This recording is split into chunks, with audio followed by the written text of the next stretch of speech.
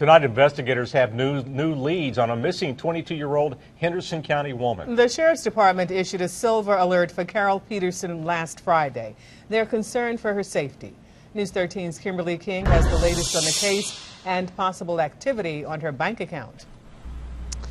Darcel, that's the lead that tonight sheriff's investigators are now working on, but they do not know if it's Carol using the account, her boyfriend, or possibly someone else. Tonight, Carol's family just hoping to hear from her directly to know that she's safe.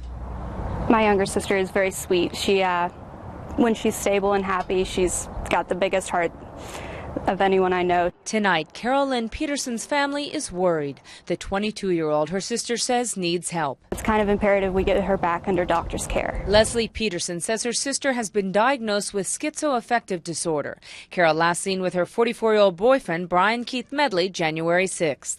She does not have cognition to be making these decisions for herself. We had not been able to locate her or the gentleman that she's with. We got some new information today and we're working on that even as we speak. Investigators are now tracking possible activity on her debit card account. While posts continue on Carol's Facebook page, detectives also hope for a sighting of her boyfriend's blue truck. I'm very concerned for many reasons about the man she's currently with. Carol and Brian have been living with Brian's father here off Cayuga in Henderson County for the last several months.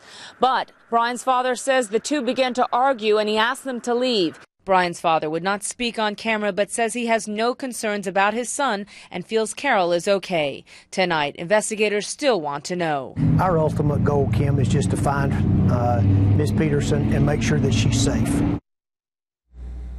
Sheriff investigators have confirmed to me that they have received tips from people who know Carol and the family and that they have told investigators that she is okay, but they still want hard evidence.